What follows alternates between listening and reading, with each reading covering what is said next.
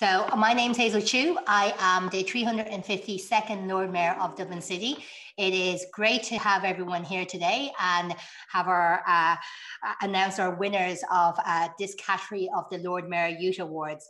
So as some of you may know, Lord Mayors in the city normally have a set of awards, which is the Lord Mayor Awards, and uh, they they they're usually adult based. So there's been some that's been awarded to younger people. But what I've noticed this year is that uh, with changing the awards to every month, that we didn't celebrate young people as much as we should because a lot of young people have been getting a lot of flack during the pandemic uh, and not enough credit. So what we thought of here in the office was that we have a special category for uh, the Lord Mayor Awards, which we, would be the Lord Mayor Youth Awards.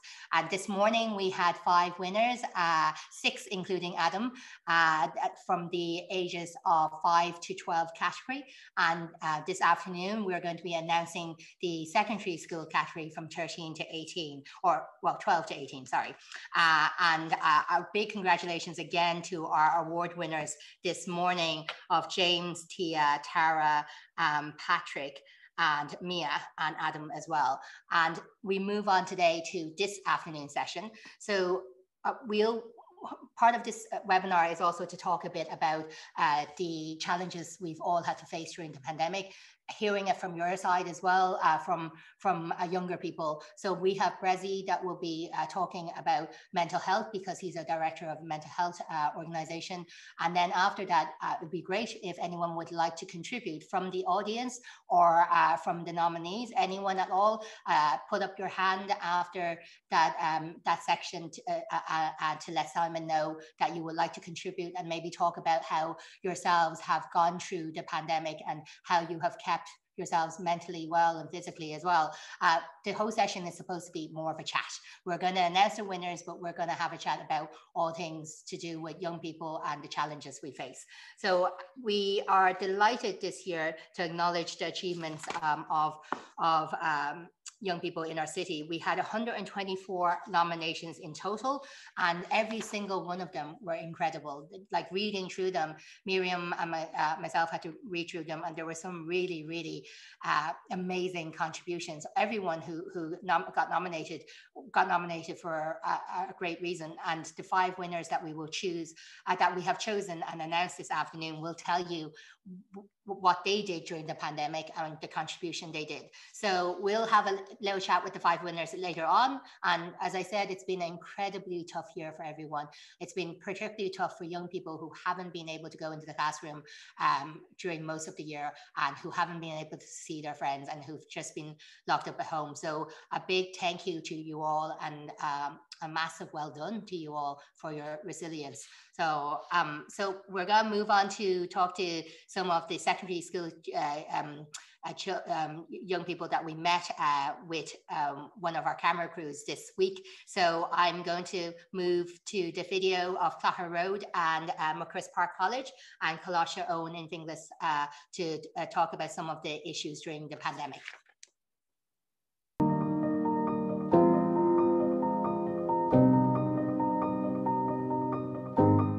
The biggest thing for me I struggled with was motivation. Because just because of like not because of not being around friends or teachers or anything, it's that where where I would do my work is in my own room. So it's just it's very hard to push yourself to keep doing the work. Getting up for school, that was that was hard. And then going on to it and all and then you're just like it's boring, you know, like there's no teachers in front of you to teach and like on the screen too hard to learn. See, I have really strict parents, so I couldn't go out at all. And when the last lockdown happened, I was kind of in like a state of what am I going to do? Like I can't stay in this because I share a room with a brother, and it's just it was draining in a way. My nanny used to come down like she'd come down like every two weeks, and she'd just stand outside my house like talking to us out the garden because she can't like she, like she can't come near anybody obviously because she wants to like be safe. You know, because I used to go to the gym when they were open like three to four times a week, and it was just you know my daily routine, part of my lifestyle. And since the gym's closed, there really isn't anything else. It was a bit hard, like because there's young kids in the house, so getting up in the mornings and then trying to watch everyone like so no one comes in and out while you're doing their meetings and all like was stressful and like I was alright for the first few weeks but it just went down and down. Having that uncertainty in the junior sort of not knowing and kind of taking it upon yourself to just okay I'll sit down I'll do a bit of maths now just in case you know. And um, that was probably a good thing to learn during lockdown just to kind of say for myself I'll do this. Um, but it was difficult. If I do, you know, whatever I'm meant to do, study for a little bit, you know, and I can maybe help out with my sister because they're all working and, you know, I'm in secondary. I know that's important, but, you know, they have other things to do. And I was like, yeah, it'll be fine. I can do this. I had to like mind my little brothers and sisters a lot because I had to go out. Um, I feel like I can kind of adapt to harder um, situations better. Like I know how to cope with things. I know how to, yeah, make myself feel better when I'm a bit down. You get to like spend more time with your family if like that's all like if you're at home all the time then you can spend time with your family as well. Yeah, like my dad sells flags and all in town for the matches and all like. So when COVID actually started, like that died down. So he started doing bingos and all to try actually bring the community back together. Like I think I've definitely gotten a lot closer with my family and just even more like value for being at home and having people to like talk to and like even just going out and walks and getting fresh air. That's like obviously since COVID people have lost people like you know obviously people have realised now like we can't really take life for granted anymore and like you know we're kind of starting to be a bit more kind.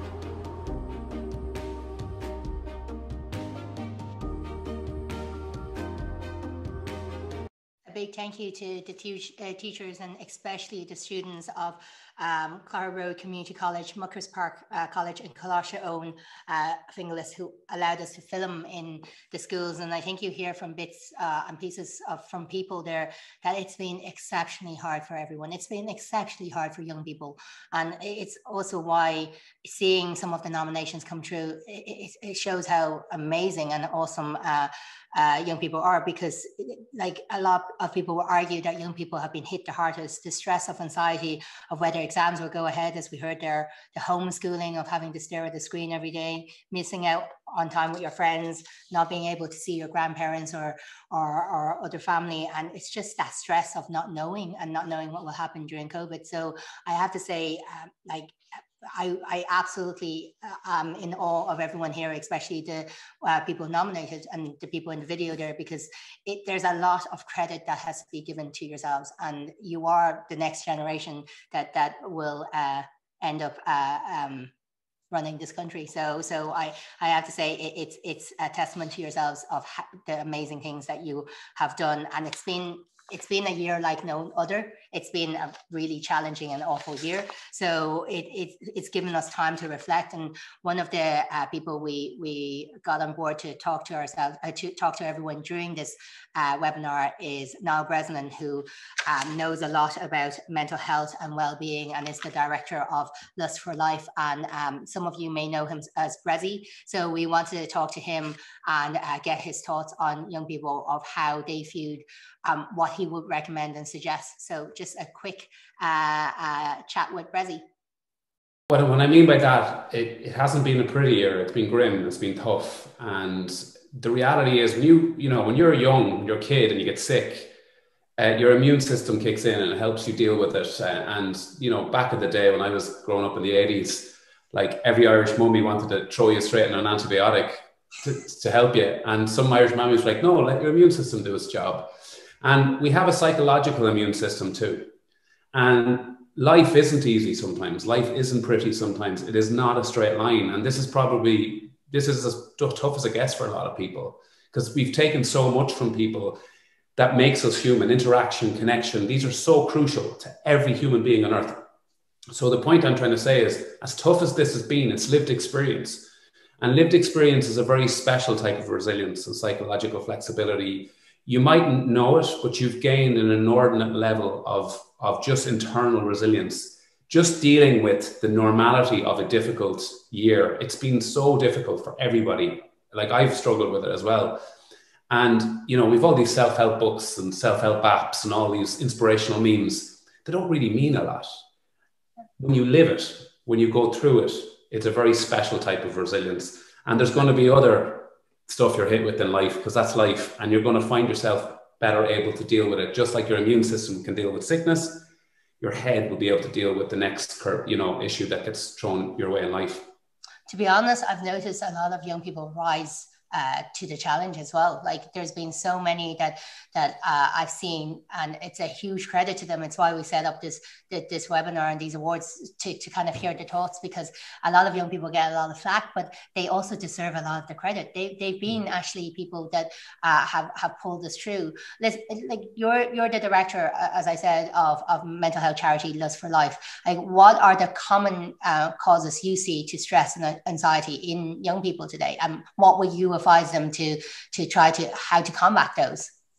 There, there's there's a, a myriad of issues in front of young people at the moment, and the difference being in the 80s and 90s when I grew up and I went through my teenage years with a, quite a, a, rampant and severe panic disorder, uh, no one knew what it was.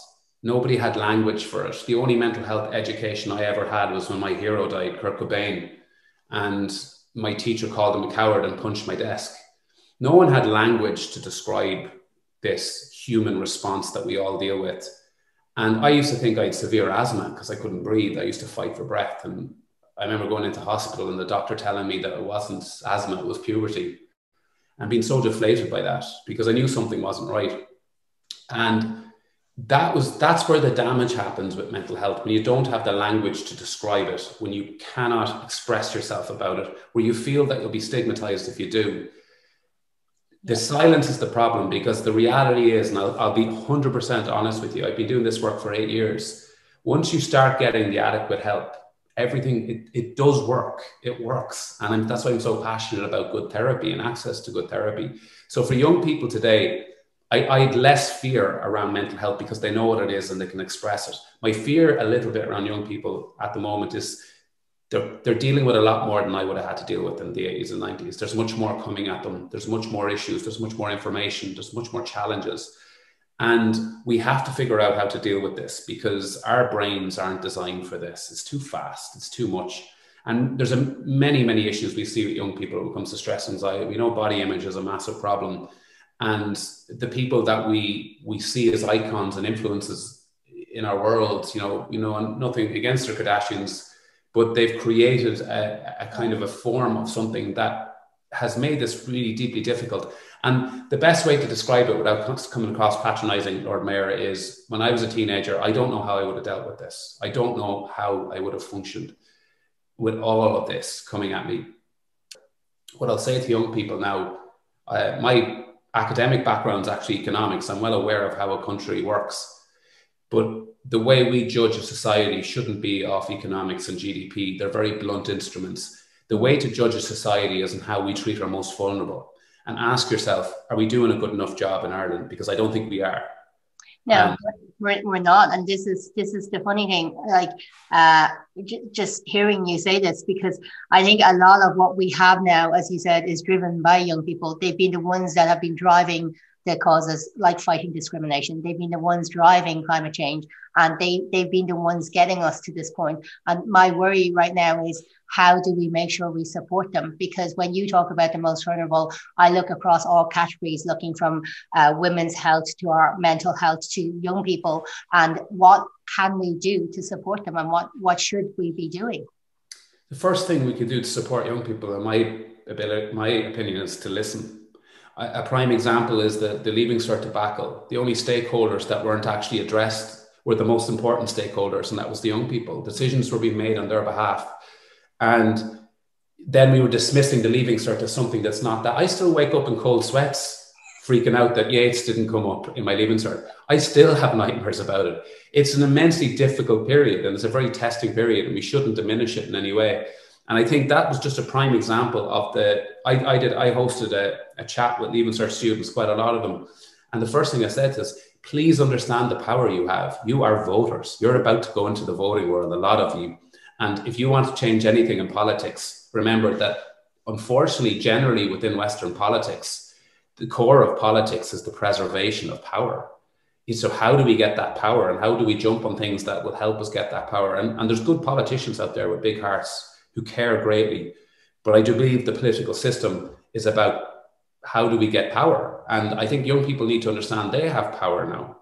And my job is to empower them to know that is that you drive the change that you want to see. But we need to start like taking our own personal accountability and figuring out what, what we want to see from this world, this country. We're asking a lot of young people to be resilient during this time and to build that resilience. Like what like how is it possible to to to to I guess advise them to to build that resilience during this awful time. From your work, how have you been able to advise people? Listen, there's a lot. Like you just talked about patience and understanding there. Like how do we build resilience for for never mind young people for ourselves? Express your emotion. The good, the bad, the ugly. We have eight core emotions, and most of them are negative ones. And since I was a child, and no doubt you were a child, we were always told to not be scared, not to be anxious, not to be sad. Experience it all, the, the, the, full spectrum of emotion. Life isn't a straight line. And, and I've learned that the hard way, unfortunately. I, I wanted my life to be easy and simple and straight line. It wasn't. And it was, I spent 15 years of my life um, repressing uh, literally the very core of me. And that was that I, I struggled massively to function through all my careers. And until I learned to express how I was feeling and actually not make excuses for it. Right now, for example, you could go online and you could see 5,000 inspirational quotes telling you to, you know, to look in the, if you just want to go out and scream at birds today and have a meltdown, have it, express it, you know, but be really careful that you express it the right way and understand that not everyone's intention is to hurt you look past their behaviors and the words. Maybe they were hurt too. And that is empathy. These aren't hashtags, Hazel. We have to stop thinking kindness as a hashtag. It's not, it's a value. It's what you believe in, it's how you act, it's a behavior. I don't care about hashtags. They're worthless, they're meaningless. That's not real life. Connect with people, hit their humanity, and you'll be very surprised when you take that conversation off the online world that we all are connected in some way. It's the Buddhist psychologies and philosophies that we're all intrinsically linked. We all share the same light, we breathe the same air. We all need each other. And if we keep fragmenting each other and keep creating this ridiculous binary society, we're just going to be shouting at each other from two sides of a room and nothing's going to change.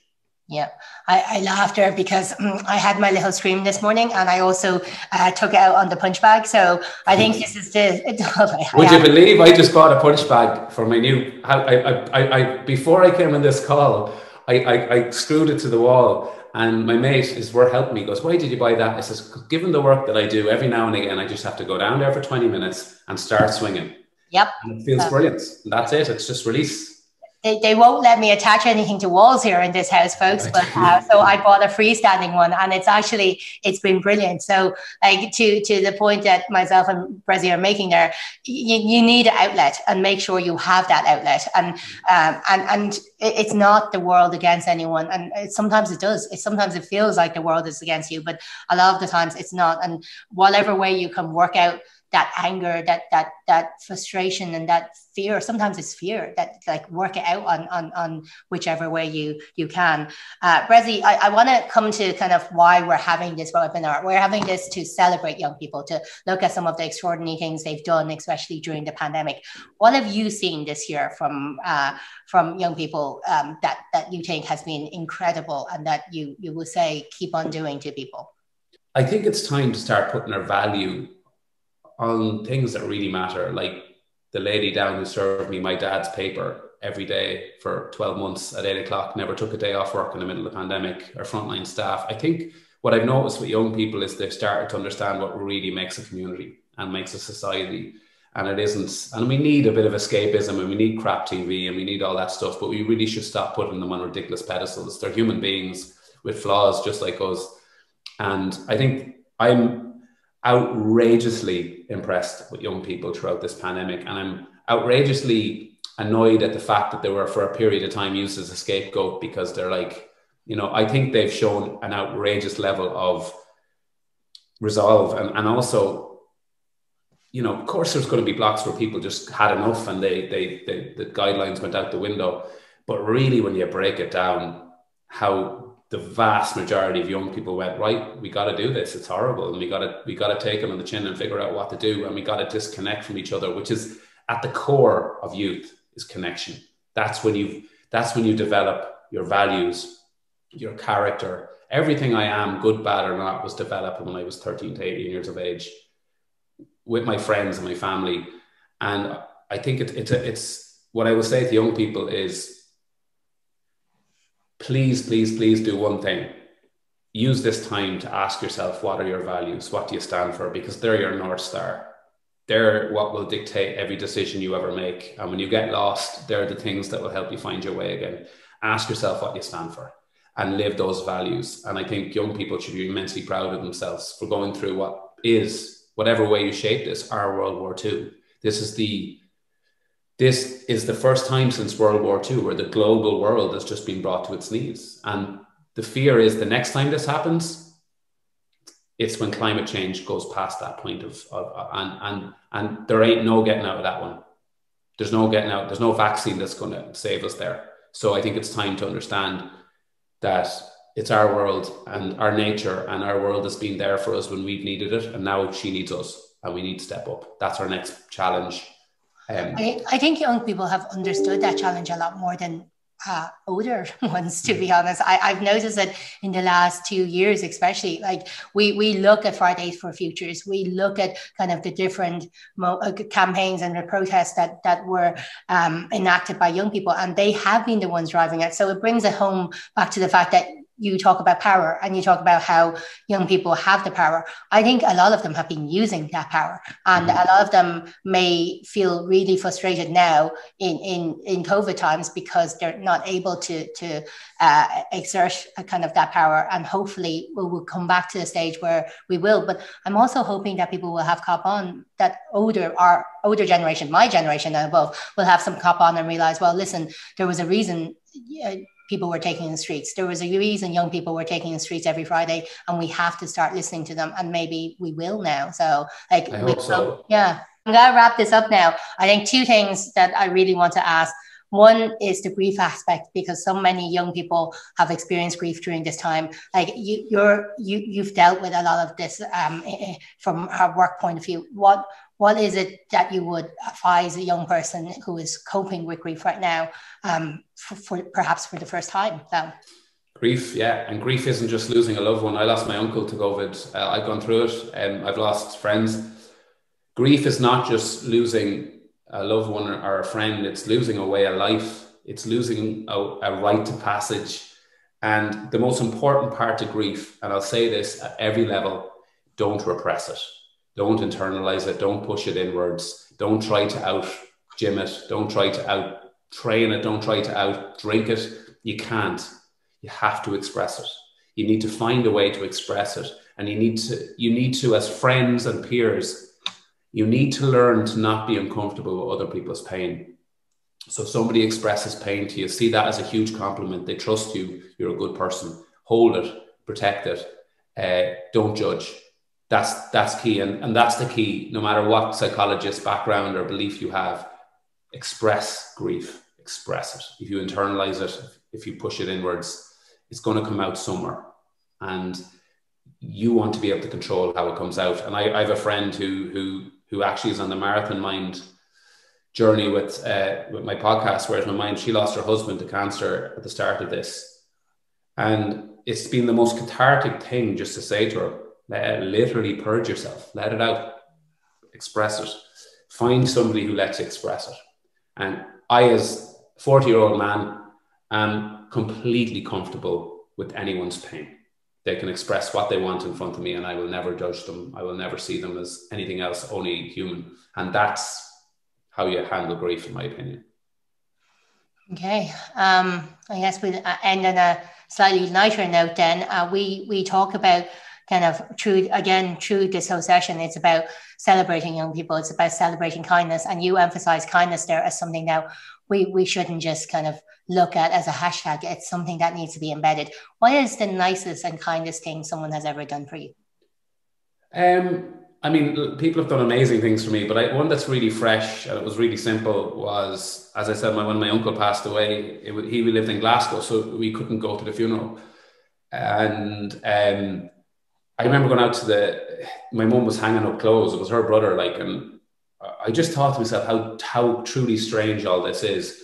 And the priest in Glasgow said that he would say mass for my uncle. Obviously, no one could go to the church, but he set up his little camera on YouTube and he did a YouTube mass. And it was one of the most beautiful days I've ever seen in Ireland. I mean, proper 30 degrees. And the funeral was at five or six o'clock in the evening. So I walked out, I went out to the lake out in Mullingar, where I, where I, where I live. And I started to watch the funeral on YouTube. And I put it on a rock and I was sitting by the, the lake. And at this point, we weren't allowed outside our 5K. And this was six or seven K from my house. And a guard pulls up, and I'm like, oh God. Like, and he came up to me, he goes, Hey sir, I was going, to be really lovely. And he goes, Everything all right? Can I mind me asking where, you know, where you're where you're traveling from? And I said, Actually, I'm outside my fight, but I'm I'm just at my uncle's funeral here. And he looked at me and he just laughed, and I laughed at him, and he went, This is this is crazy, isn't it? It's and it was just pure humanity. We laughed like it was just I'm at a funeral with a phone on YouTube on a rock at a lake, 7K from my house. And the two of us just, we just had that moment of like, man, this is nuts. And it was just lovely. And it was, it was, that was it. And he drove off and he said, anything you need, if you want me to drop out anything to you. And he drove off. And it was just the simplicity of that. And just the idea that both of us were like, this is crazy. And I think that kind of stuff, those simple things, I don't need big things to connect with people.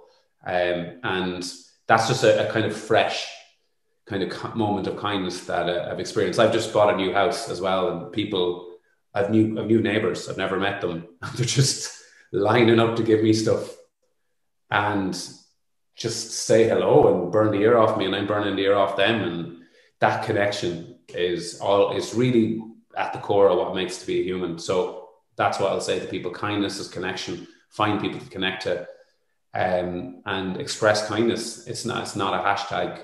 And the next time you feel you want to rip someone apart online, take a moment, take a breath, and ask yourself, maybe they're dealing with something right now. And I'm just adding to the noise. Thank you. Um, that was Bressie uh, he heard we were doing Lord Mayor Awards and actually put his hand up to, to come and talk. So uh, thank you very much to him and his time. And now we're getting to announcing the five winners. I said in the chat there that if anyone wants to discuss any of the issues, mental health, uh, how we're doing during the pandemic, or if you want to just give your school a shout out uh, and comment on uh, how uh, you've done things differently in the pandemic, put your hand up. And at the end of when we announce the winners, after we talk talk to other winners, we will co- come to the school. So feel free to put your hand up in the uh, in the I think the participant participants bar. You can virtually put your hand up, and Simon will uh, then spotlight you at the end um, when we talk to the various classrooms. So again, uh, if you want to shout about anything, if you want to call out anyone in your class or your teachers, or if you want to talk about how uh, you've coped during the uh, pandemic, or um, how you're feeling, or how how you think uh, think things can be done better. So uh, please do uh, put your hands up and we want to hear from you at the end. Uh, so we're going to move on to, to the awards now. Uh, as I said, 128 of 24 uh, nominations. this is the first time we um, have carried out these awards in this office. So it's been quite a, it's been a massive pleasure. I want to give Miriam, Sinead and Orla a big shout out because Miriam were the ones uh, was the one who actually organized all the uh, nominations and she read through all of them and I read through uh, them going this is incredible. Some of the work that yourselves have been doing uh, through the pandem pandemic um, is just amazing. So kind of puts us all to shame. So we're gonna announce the first winner uh, and they're not in order. It's just uh, picking out the first one is 12 year old Jake Brannigan from Dublin 8 Jake, you've been described as a, being a pillar of strength to your mum, who not only underwent treatment for cancer two years ago, but earlier this year, she also suffered from COVID 19. It's fair to say that you are your mum's rock. Tell us how you've been through COVID. We've been sad because we met had at the start. Oh. And how have you uh, like how uh, how how have you been doing recently? Has it been better? Yeah, it got better. Oh. Um, I heard that you've been a very good neighbor to your elderly. Uh, uh, you've been a very good neighbor to your eld- elderly neighbors as well. What have you been doing for them? We've been asking them did they need anything in the shop. And you've been the one getting it for them as well. I heard. Yeah. and talking to them. Fair play. So how are they doing at the moment? Are they doing well? Yeah, they're doing good. So, and I also heard that you have been giving your uh, birthday and confirmation money to, to, to a charity. Yeah, to the homeless. I have to say, Jake, fair play. So uh, we chose you as one of the winners because you are absolutely amazing. So, um, like, congratulations, and I want to say a big thank you from everyone here in the office and from uh, from everyone uh, that has been working on these. So thank you so much, Jake, and uh, we will send you your award and your voucher on the way. Yeah, thanks. Thanks, Jake. Bye. So um, just so everyone knows, each winner will get a uh, specially commissioned uh, award and also a 100 euro One4All voucher. I would advise all winners to keep that to yourself and not give it to your parents. So, but that's entirely up to you. So we have the next winner who is uh, Shakira from Ballyfermot, 17 euro Shakira. Hi, Shakira. Hiya. Hiya, can you hear me? Yeah. Okay, congratulations. You're in sixth year, I understand, and have been doing exceptionally well in, in uh, certain leadership skills. Tell me about, about what you've been doing. Uh, I've organised school activities for our community, such as collecting goods for homeless. We got students and staff to contribute to those care packs, and the wellbeing team created Christmas cards to include each care pack. I've also helped to coordinate activities for the wellbeing team at the school. We've done dancing challenges, walking challenges, and share positive messages with my school. I've enjoyed my role at my school and helping younger people to find happiness. And each Friday afternoon, what do you do? Uh, play a song and an inspirational quote. Fair play. So, and how has it been going? How have you been finding it in the last year doing all this? Been very hard. Oh. And well, it, it has been it has been really horrible and difficult. But I have to say, your work has contributed so much to to to your school and your your community as well. Like, what what what do you want to see in the next couple of months? How do you feel going into the next few months? Uh, I just want to like be positive and all the students be positive in the school. Yeah, and I, I think you've been doing that. I heard you've been coordinating all the donations as well. And you've been, am I right to say that you also work with the local homeless um, outreach team? Yeah. What have you been doing with them? Uh, just making care packs for them and giving them supplies and all that they need. Okay, like honestly, Shakira, you're you're amazing. I, I know all the winners here and all the nominees are, are incredible, but I heard a lot about what you've been doing in terms of uh, recording tips and uploading on Facebook and and trying to share and positive messages around, but also helping on the ground to to the homeless outreach team and within your school. So a massive thank you from ourselves here, and you are absolutely incredible. And thank you so so much. Thanks. Thanks, Shakira. Uh, our next winner is uh, 14 year old, 14 years old and has come uh, uh, overcome serious uh, challenges when last year he faced a life-threatening illness. We have uh, Dave Clark Ronaldo. Dave? Hello. Hi, how's it going? Can you hear me? Yeah, I can hear you. Hello. so I heard you were very sick for the last three months. How are you feeling? I'm feeling good, yeah. And is that your class behind you that's listening to us? Yeah. How has your classmate been helping? Um, uh, they've cheered me up after my operations. I was about to say you can say they didn't help at all, but that wouldn't be very fair. yeah. So, but tell me this: um, throughout throughout your ordeal, one of your, the, the person who nominated you said that you you have been really positive you've been really enthusiastic and you made um the dad your dad contact the school on multiple occasions to keep up with your work so what what have you where did you get your strength from and how did you feel about the thing um i got my strength from my parents um being beside me all the time in the hospital are they there at the moment? Oh no, you're in school, so I you can give them a shout out. Yeah, thank you, mom and dad.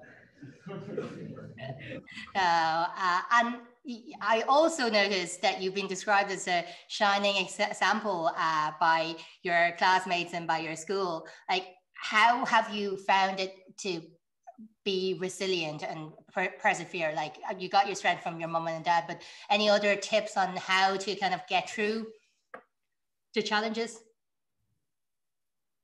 Um, just stick through it. It'll get better eventually.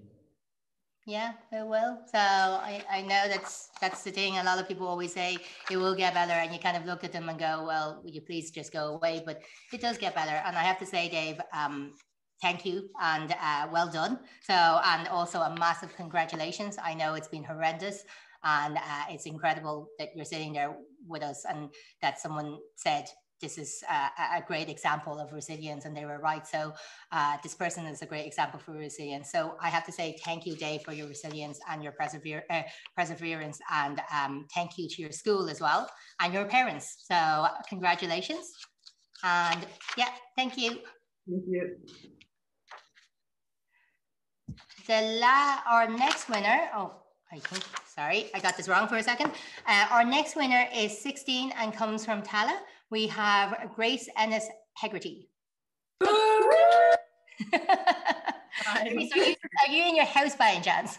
Yeah. Is that the whooping noise from your parents by any chance? Um, it's my mom, my aunt. Go on, go on. They can pan the camera. Yeah. You can all join in if you want. We can only hear voices. Are they camera shy? Ah, they're all, they're in the back there. They're all right. She wouldn't let them in. oh, you, wouldn't let them in. Don't worry, they won't embarrass you too much. Uh, tell me, tell me what you've been doing in transition year in Kingswood Community College. Actually, Kingswood was down the road from where I was from. I uh, lived in Firhill. So you did something with your hair. Tell us what you did. Yeah, um, I cut 17 inches off my hair for the um, Rapunzel Foundation and I done a GoFundMe for the Laura Lynn, which raised over 2,000 euro. Fair play. Uh, how long was your hair? Um, it was like down to down all the way down my back. okay, uh, that that's that's a lot of hair, and the reason you did it was because. Um, well, my granddad passed from cancer a few years ago, so that was like a reason behind it. And then a couple months ago, my auntie just said to me, "Why don't you just cut all off?" And I was like, "Yeah, why not?" you didn't want to go down the Jed route and shave your head as well. No, no. like you would look good with a shaved head. So, how much money did you raise? Tell us that, Grace. I ended up raising two thousand and twenty euro. Okay, that's a lot of money. Uh, fair, like seriously, incredible work and fair play to you. And you also danced somewhere as well. Yeah, um, I danced with Got to Dance Stage School. I um, sorry about that. Um, I danced with Got to Dance Stage School. So a couple of years ago, we danced in the Laura Lynn for all the children and just entertained them for the afternoon. Thank you. Uh, Laura Lynn does some incredible work. A friend of mine's daughter was in there for quite a while before she passed, and they, they are a brilliant organization. So thank you so much, Grace, for uh, for contributing to them and, and helping them. So, and uh, thank you for all that you do, and congratulations. Thank you. Thanks, Grace, and Grace's family.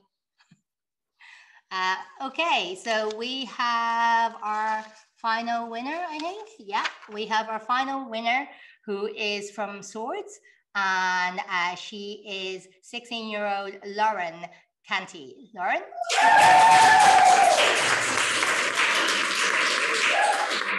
Lauren, either your class likes you a lot or they were just waiting on camera. I'm not sure which one it was. so Lauren, tell me a bit about, uh, tell me a bit about what you did, did during COVID. Uh, during COVID, I worked a lot with the Order of Malta and we did a lot of shopping runs and medication runs to old people and people that were too afraid to leave their house. And how how did you find it? How how were people when you you you helped help them? They're really grateful because if it wasn't for us, they'd kind of be stuck in their house and they were happy to see other people as well and talk to other people. And I heard from your, your nomination that you were also working with your own family as well. Uh, yeah, my mom was high risk because she had a stroke last year, and uh, I was coming home to my high risk family, and we're going out as well, working with the Order of Malta. That's some incredible work. I hope your mom's okay. Uh, and she's getting better. Um, you also worked with Headstrong Wellbeing Committee. Tell me about, a bit about that. Uh, last year when I was in TY, me and two other students uh, set up the Wellbeing Committee in our school, uh, which is the first time we ever set up the Wellbeing Committee and it's going strong still. And and what what does it what has it been doing? How has it been helping? Uh, every week, every once in a while, we do something for the school, or we have something on in the school for our well-being. And it's incredibly important uh, during this time during COVID. I I, I imagine. Yeah, very. Well, a big congratulations to yourself, Lauren. Uh, amazing work, and I I know you're still doing it. So incredible, uh, like fair play, and I have to say, well done, and well done to all your class there as well. So hello, class of Lauren.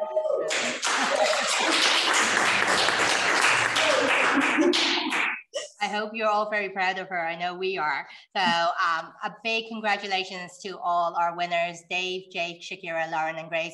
You've all done amazing job. And I know all our nominees that came in, there were, as I said, incredible stories all around.